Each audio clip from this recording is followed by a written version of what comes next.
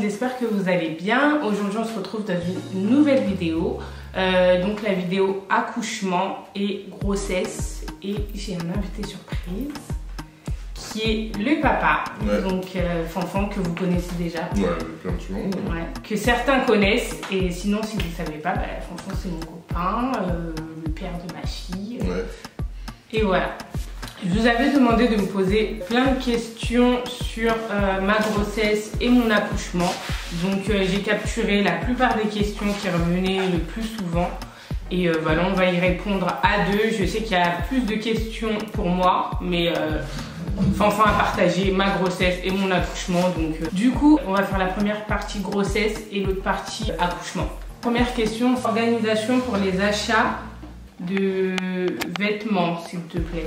Euh, franchement, moi, j'ai commencé assez tard. Je Ah crois au bout de 6 mois ou 7 mois. Ouais, mais si, c'était pas 7 mois. Mais... Ouais. Je pense que en soi, on n'est pas obligé d'acheter dès le début. Moi, le conseil que j'aurais donné plutôt, c'est d'acheter petit à petit. Comme ça, ça vous fait pas une grosse somme d'un Ouais, ouais. Mais euh, sinon, il n'y a pas vraiment de bon moment pour commencer les achats. C'est vrai que quand le bébé il arrive ou que même le ventre commence à être trop lourd, vaut mieux euh, Ouais. déjà faire des achats. Ouais. Mais sinon. euh, Après, il n'y a pas grand chose à acheter au. Ouais. Comment tu as géré les nausées?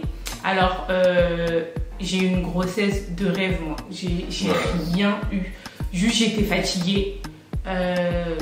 Et le masque, physiquement, Ah oui Ouais. Oh, J'avais oublié, j'ai eu un de ces masques. Ouais. Je peux pas vous montrer de vidéo parce que c'était horrible. Mon masque, je sais plus à partir de quel mois je l'ai eu, mais j'étais un crocodile. Tous les matins, je l'avais ici. Ben, en fait, moi, je l'ai eu que sur le visage. J'avais un gros nez, des grosses lèvres. J'étais noire tout là. Le Ouais, front, c'est le, ça. Le front qui a pris encore. Oh là là là c'était une dinguerie. Mais il est parti quand j'ai accouché par Ouais, contre. mais vraiment rapidement plus. Dès que le bébé il est sorti, le masque il est parti avec. Ouais. Donc au niveau de la grossesse, j'ai rien eu, tout petit ventre. Mais j'ai eu un gros ventre à la fin. Ouais, il a... ouais c'est vrai qu'à la fin, il était. Un ouais, gros ouais. direct. Enfin, fin, ouais. je tiens à préciser, c'était pas un déni. hein. J'ai pas fait de déni, Ouais. c'était voulu. euh, j'ai su que j'étais enceinte. Enfin, voilà. Mais euh, il était petit. On voyait bien que j'étais enceinte, mais il était petit. Mais quand je regarde mes vidéos, euh, de deux jours avant que j'accouche, il était balèze. Ouais, non, c'est vrai qu'à la fin, il était. Voilà. À un moment, euh, le médecin, enfin le gynéco, il avait dit que, que j'avais trop grossi. Et du coup, je- euh, au moment où il me dit ça, moi j'étais allée manger une glace. Et après, parfois, il était pas content. Et avec les hormones, comme j'ai vu sur sa tête qu'il était pas content, je me suis mise à pleurer parce qu'il voulait pas que je mange ma glace. Tu te souviens? vrai, à Aéroville là. Ouais. Après du coup il m'a dit après quand il a vu que j'étais triste il m'a dit mais tiens la glace tiens la glace après j'ai dit non je la veux plus. Ouais, je voulais trop Ouais. Ah, je pleurais vite oui oui oui, Pas beaucoup, mais tu pleurais plus que d'habitude, quoi. Genre, euh, le moindre truc, c'était vraiment. Il ça a dit c'est vrai que tu pleurais beaucoup.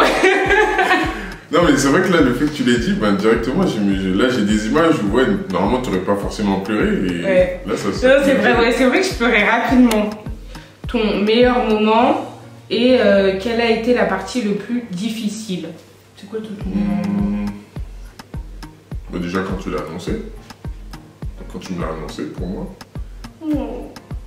Bah, c'est- là que tout commence, on va dire. Bah, Moi, mon, me- me- mon meilleur moment, bah, déjà, les points forts, c'est quand tu l'apprends. Après, il y a le sexe, quand tu apprends le sexe de l'enfant. ouais.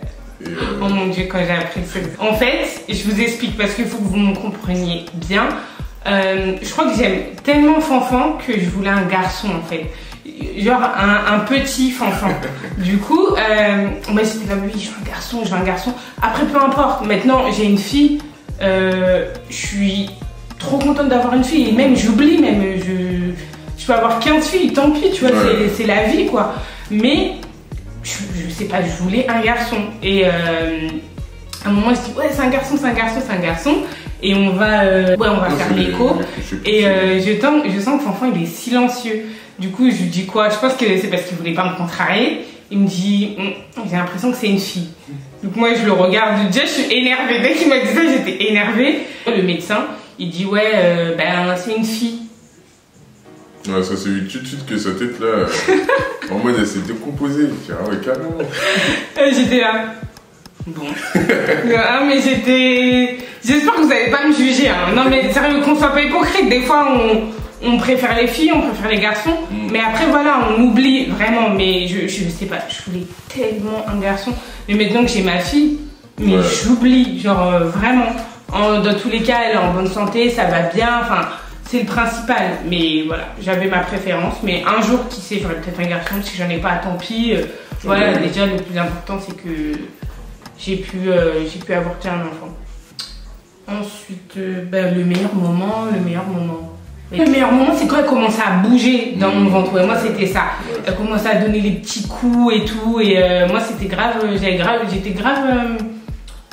Bah, tu ben, sentais J'étais que. touchée, ouais. Et là, je sentais que, que j'avais un bébé vraiment dans mon ventre. Et euh, quelle était la partie la plus difficile? Bah j'allais dire l'accouchement. hein. Enfin, il y a deux événements où. J'allais dire euh, l'accouchement quand même. Ouais. L'avant-accouchement, on va dire. Là, quand il y a les contractions, les premières contractions et tout. Et après, euh, bon, c'était pas par rapport à la grossesse, mais euh, c'est l'événement qui s'est passé euh, un peu avant. Donc je pense que c'est. mais de toute façon, moment. je vais en parler de toute façon parce que c'est c'est important de le savoir. Mais j'ai perdu mon père bah, avant d'accoucher, juste d'avant. J'arrive même pas à trouver Ouais, mon. Mais voilà, j'ai perdu mon père avant et, euh, et voilà. Donc c'est ça, je pense que. Donc euh, je pense que c'est ce qui m'a déclenché. Et, euh, et voilà. Et ouais, je pense qu'en fait le plus beau moment, c'est parce que euh, je sais que c'est lui qui m'a aidé à accoucher. Ouais, voilà.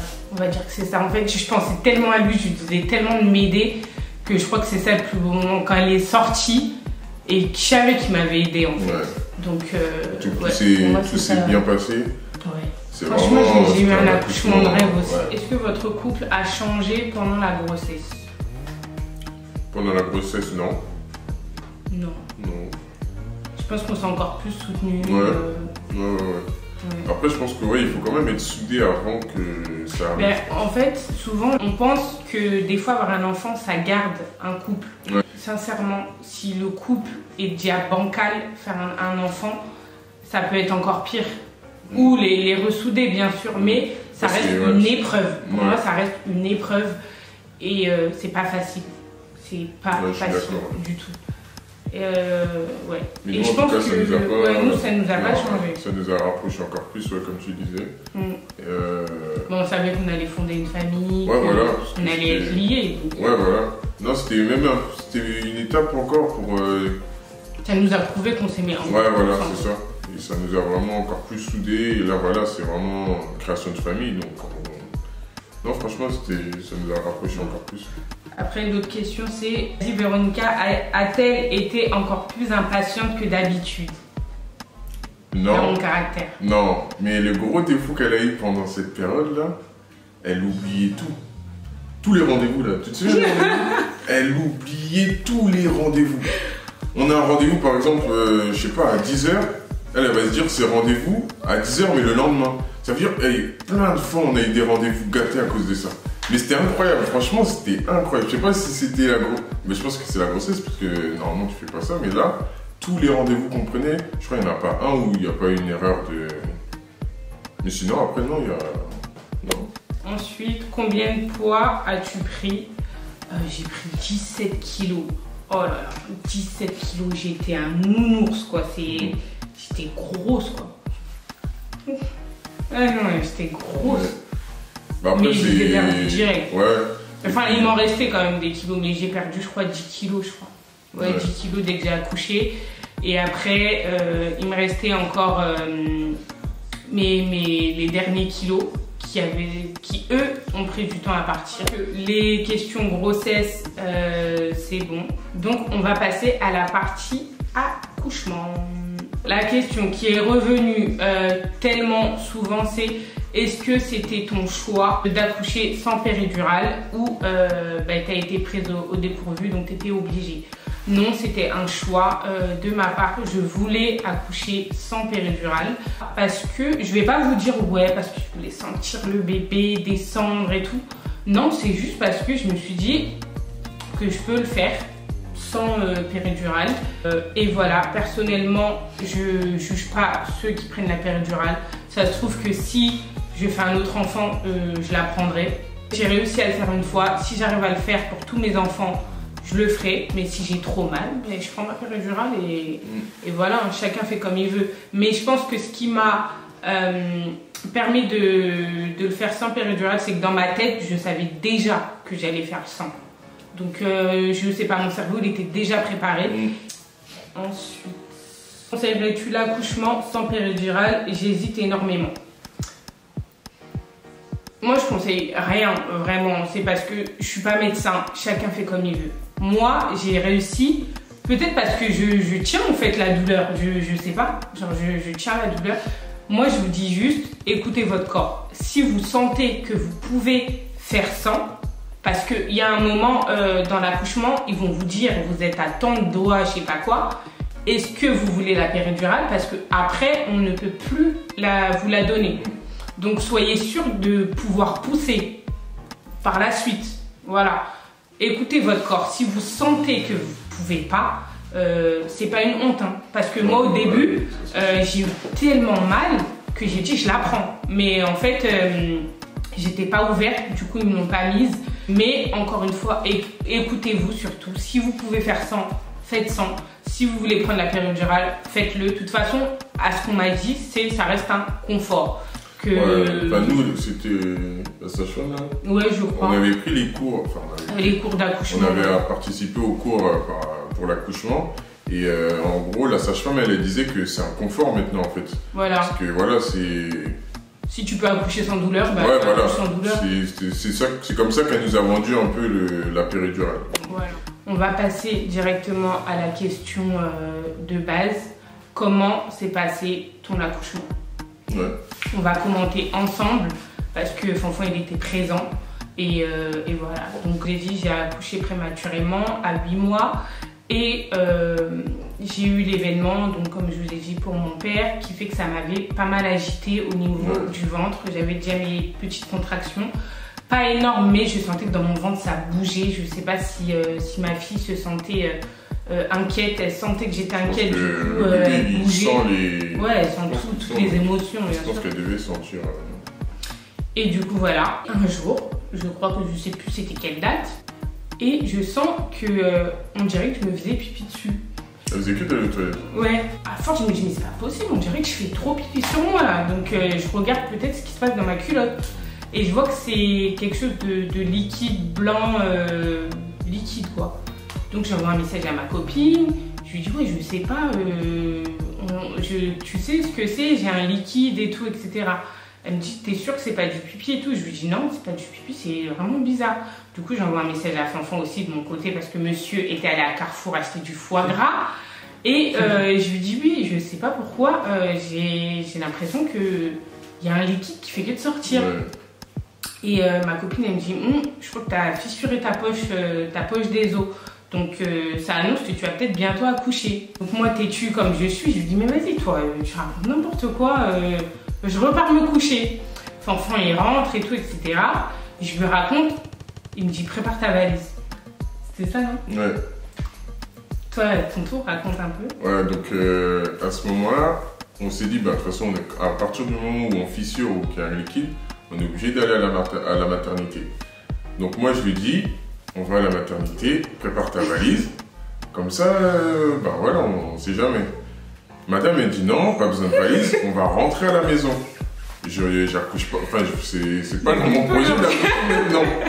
Elle, dans sa tête, elle n'allait pas accoucher. Ouais, j'étais sûre que j'allais pas accoucher. Moi, je suis partie déjà avec mon jogging, j'avais déjà ouvert la porte. Après, Fofo, me dit, va préparer ta valise. après, il y a ma mère qui vient, qui m'embrouille aussi, qui me dit prépare ta valise, etc. Donc moi je dis mais non, c'est pas, euh, je vais pas accoucher. Enfin, ils m'énervaient eux déjà. Je crois que j'étais prête à encore pleurer. Ouais.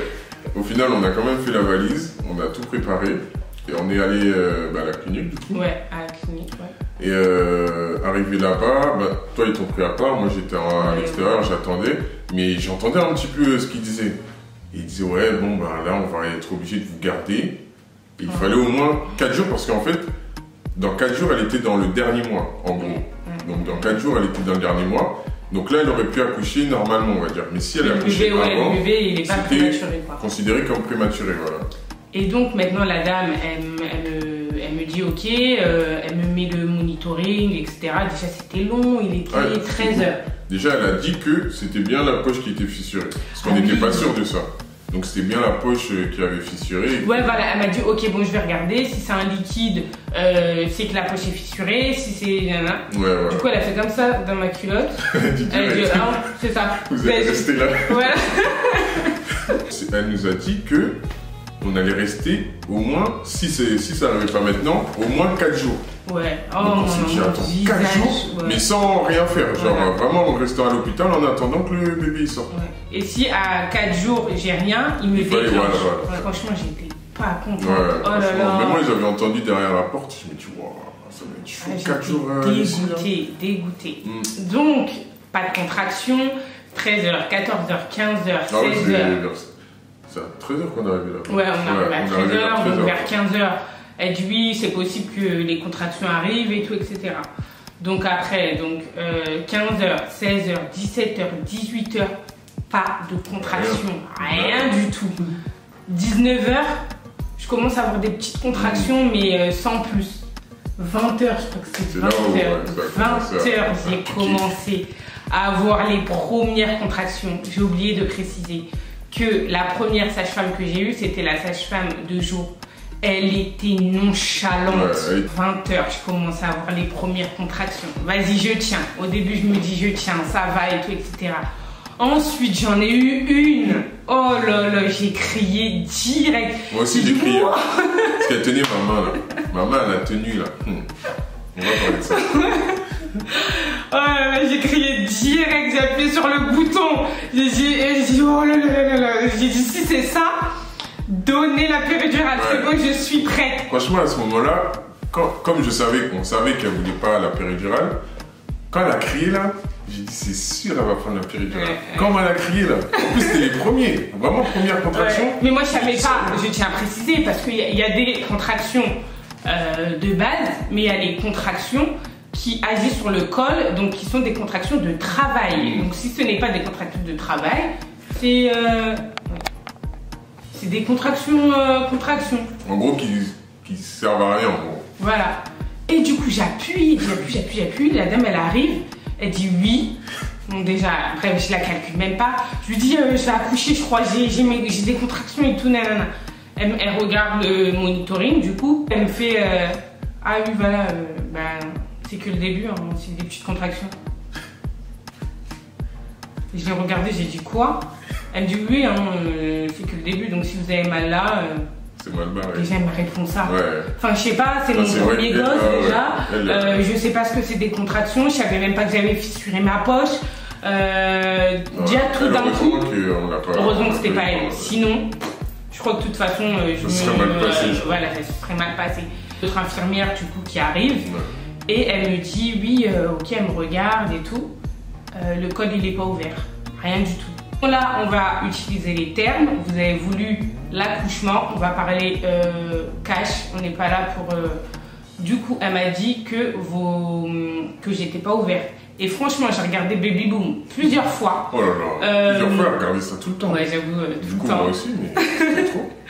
Et elle vient, elle me dit ouais, j'arrive même pas à rentrer mon doigt. Euh, je suis désolée, dans Baby Boom, ils disent pas que euh, mettre les doigts là, ça fait mal. Moi, ça m'a fait mal personnellement. Euh, elle, elle arrivait pas à rentrer. Du coup, j'ai carrément eu un peu de sang quoi. Elle m'a dit, on peut pas, je peux pas rentrer. Genre, c'est mort. Il était quelle heure? Je sais plus, 22 heures. Ouais, ouais, 21h, 22h. Ouais, à ce moment-là. le col il est pas ouvert. Ouais. Ensuite à du coup 22, peut-être 23 heures, elle vient me fait ah c'est bon, vous êtes à deux doigts. Possible, j'ai trop mal et tout, les contractions elles commencent là, là, ça à commençait à monter. Là. ah ouais, les contractions elles commencent à être chaudes et tout. Je sais pas comment vous dire comment c'est une contraction, mais le ventre il fait mal, il fait mal.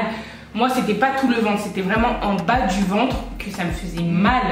euh, ça se contracte, ça se contracte. Et en plus, j'avais une petite, une grosse. Une Ouais, petite, une petite, grosse. la grosse. Voilà, la petite annonçait la grosse. Ouais. Et, Et moi, euh, moi, ma main, elle était. en plus, quand je lui ai donné la main, j'ai mal donné la main. Parce que j'ai pas donné comme ça et comme ça, elle serre là. J'ai donné le bout des doigts. Et mes doigts, ils étaient comme ça. Vous voyez là Ça veut dire quand elle appuyait, oh là là, moi aussi j'avais mal. Donc moi aussi j'ai supporté ça. non, non, mais t'avais pas mal. non, c'est très, très, très douloureux, très douloureux. Trop, trop, trop. Moi, déjà, je pensais que la main de elle, me- elle me servait à rien. Une fois, il m'a dit, euh, il m'a pas donné la main. C'était comme une ouf. J'ai dit, donne ta main. Et là j'ai vu un vrai visage. Oh là là, je dis non là. J'étais- En plus, il était dans son téléphone au fond. Après, je j'ai la contraction qui arrive. Et je lui dis, donne ta main là. Ouais, j'ai eu peur, j'ai exécuté tout de suite. J'étais comme une ouf.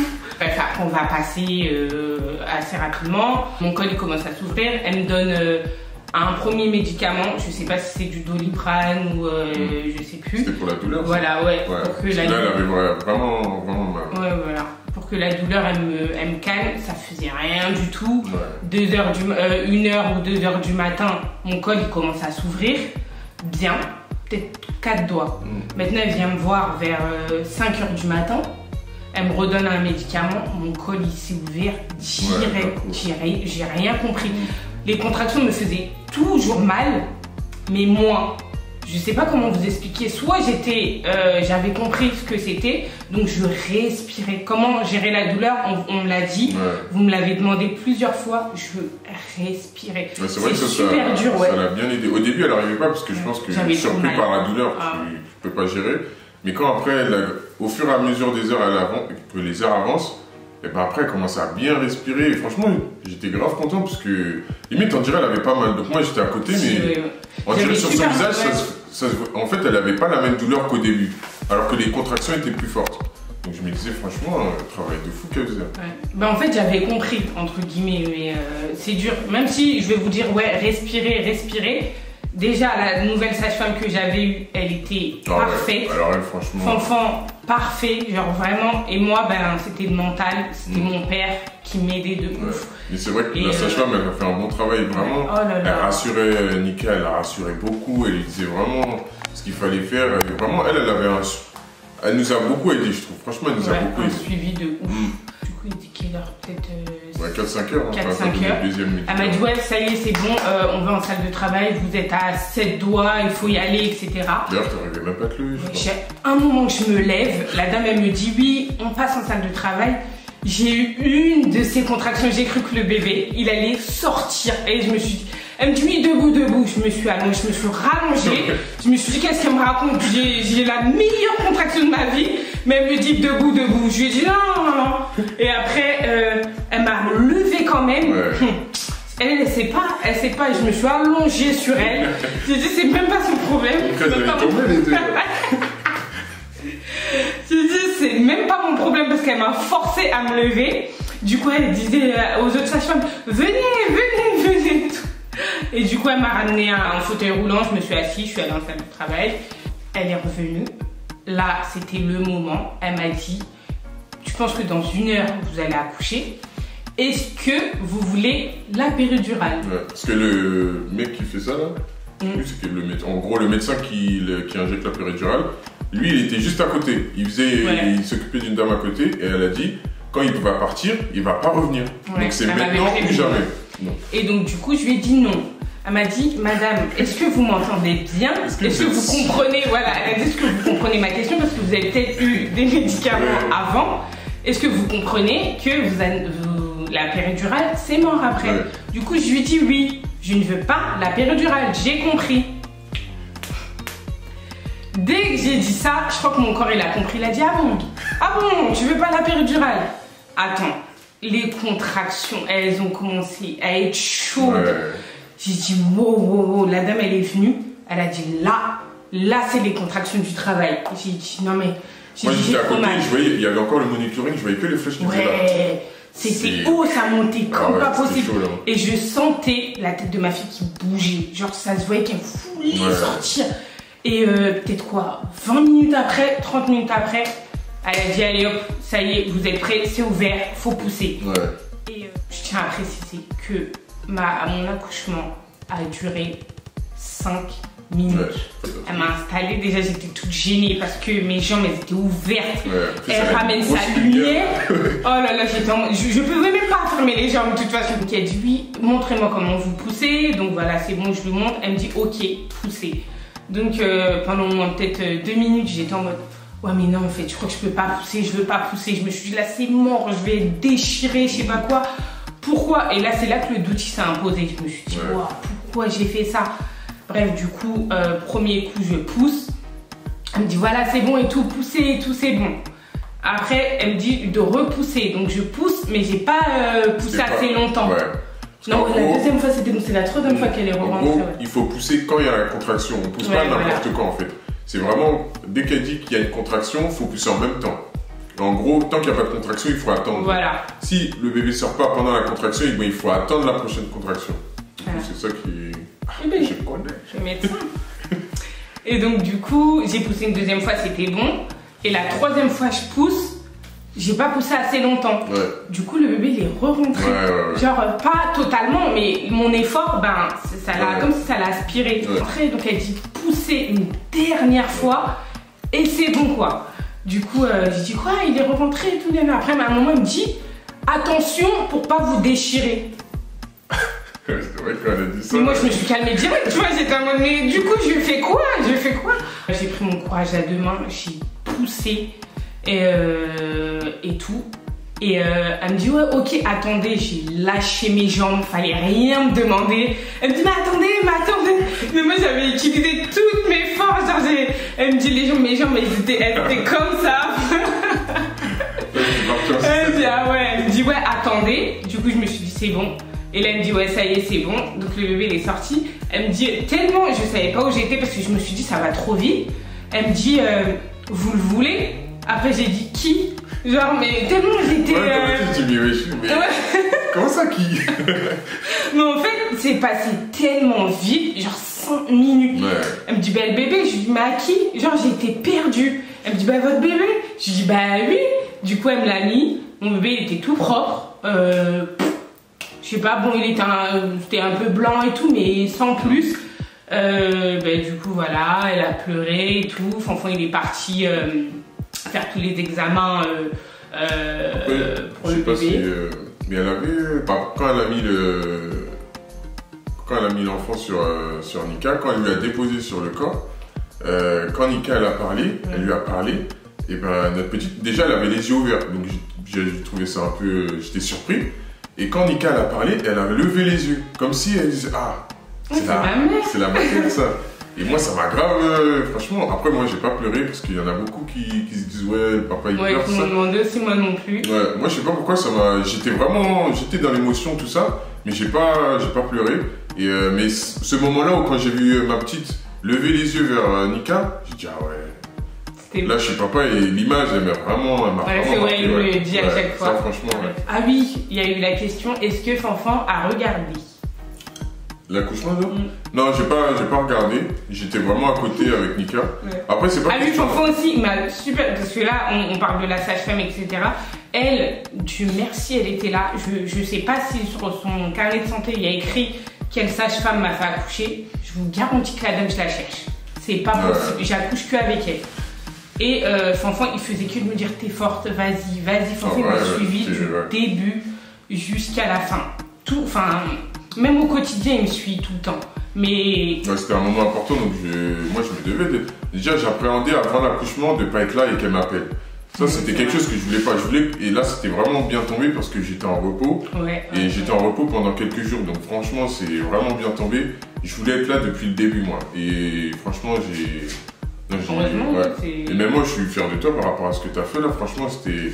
C'était impressionnant, franchement, et je suis content d'avoir été là. Ouais, c'est sûr. Mm. Et euh, puis voilà. Voilà, j'espère que la vidéo vous a plu, qu'on a pu vous éclairer sur tout ce sujet, que le fait que Fanfan soit présente dans cette vidéo peut aider peut-être euh, vos, conjoints, vos maris, vos, bah, vos hommes quoi. Si c'est le cas, n'hésitez pas à commenter, liker, et commenter pour, euh, me dire votre ressenti. Si vous avez d'autres questions, bah, dites-moi en commentaire. J'essaierai d'y répondre au mieux.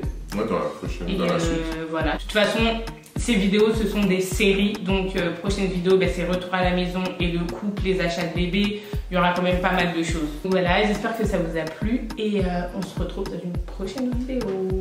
Tchuss Bye bye